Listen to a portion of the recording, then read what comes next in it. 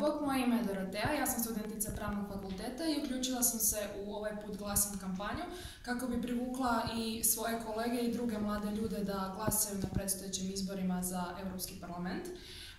Jedna od, jedan od načina kako sam se ja uključila je bilo organiziranje događaja direktno na terenu. Prvo sam razmišljala kako logistički to izvesti. Odabrala sam svoj rodni grad e, Krapinu kao mjesto u kojem bih htjela organizirati prvi događaj.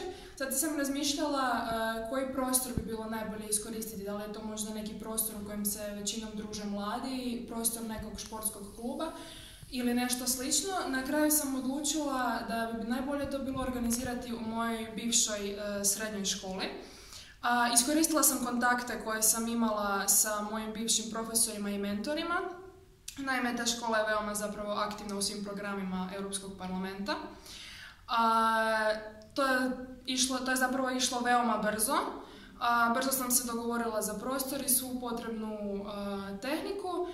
isto tako naš ured Europskog parlamenta mi je pomogao sa svim pratećim sadržajima, rekvizitima i ostalim. I isto tako možete i vi veoma lako i brzo zapravo organizirati događaj. Bitno je da imate volju, želju i da iskoristite za sve svoje kontakte i mogućnosti koje imate.